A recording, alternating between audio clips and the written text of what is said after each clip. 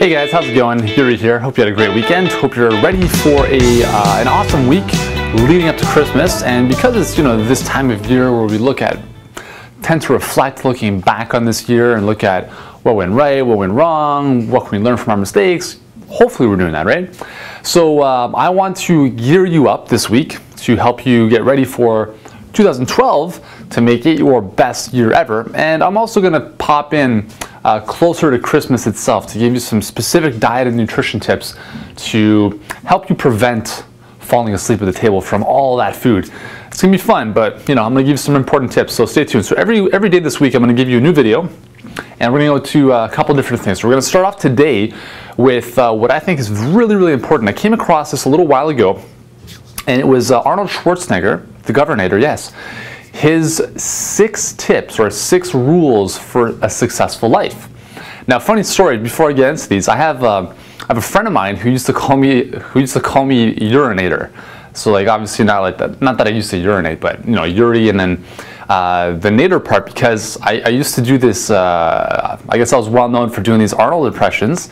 So he used to call me the Yurinator. So um, so I had this connection to Arnold, not because I talk like Arnold, but because he's an awesome guy, you know, that kind of stuff. Anyways, um, you know, whatever your opinions are of Arnold Schwarzenegger, what I'm going to share with you today is very valuable. And I can't, I mean, we can't deny the fact that Arnold's is an amazing example of accomplishment and confidence and achieving your dreams.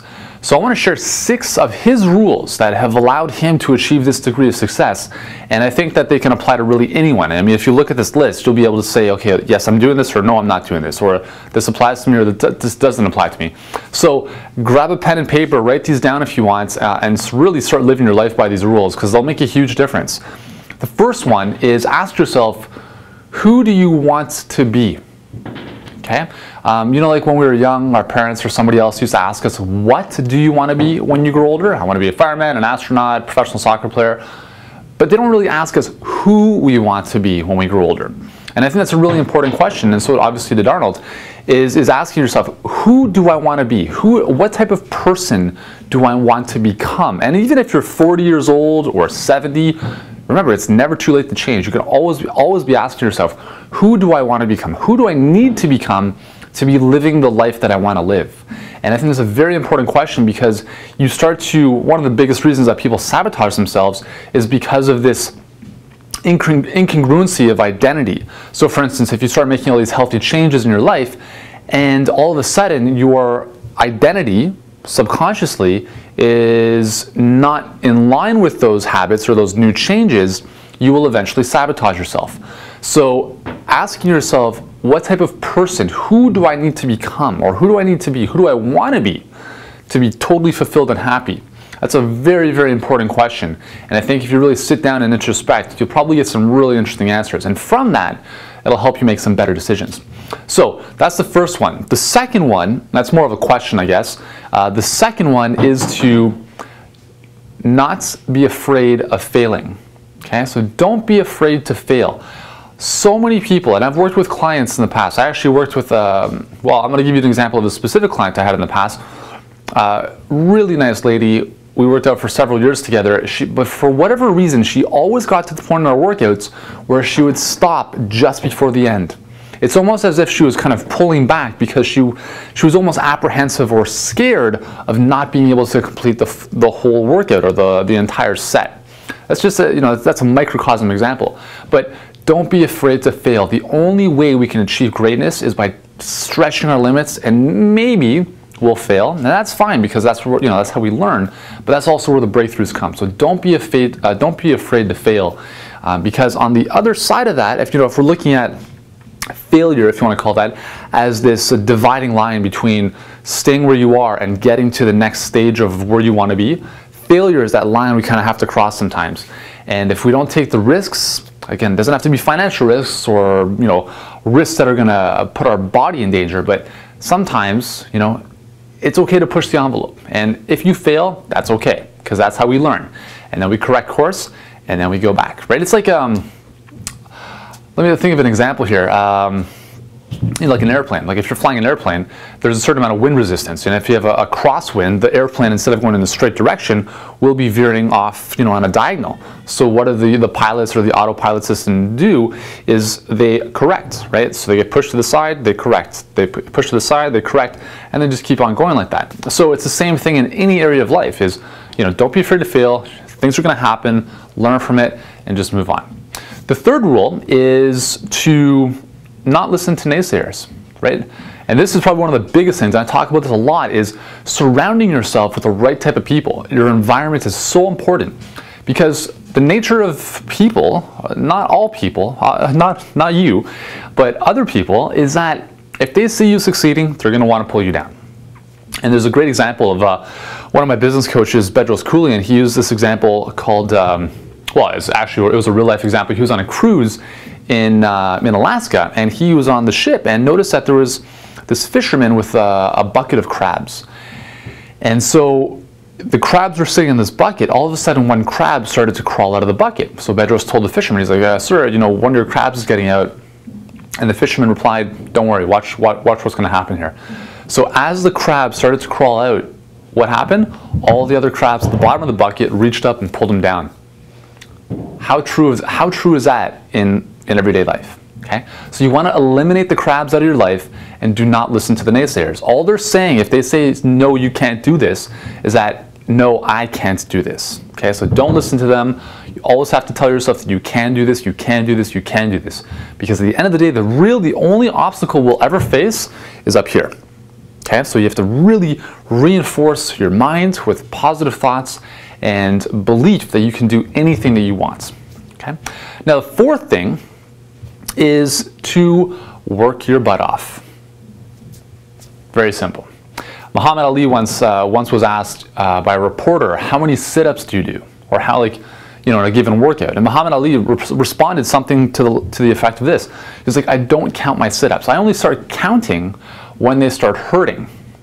And that's really, uh, you know, Muhammad Ali was just, you know, a, a lot of great quotes like that. You know, he would often say that uh, success is determined, or success is um, is won, or, or, the battle is won when no one else is looking, right? So he, you know, just kind of uh, highlighting the fact that he would work harder when other people were not were not, were not, were not watching. He didn't care about all that, you know, what, what, you know, he's doing a lot of stuff in the gym while other people are sleeping, that kind of stuff.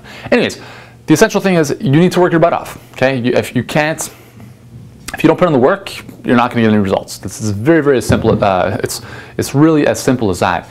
Um, you know, so you can have all the, the tools, all the strategies, all the, the, the knowledge, but again, if you don't put it into practice, if you don't take action, if you don't work out, if you don't eat well, it doesn't matter. Okay, you have to work hard, and that's that's really what separates the most successful people in all areas of, of life versus those who don't really achieve their full potential. And everyone has potential to, to achieve incredible greatness.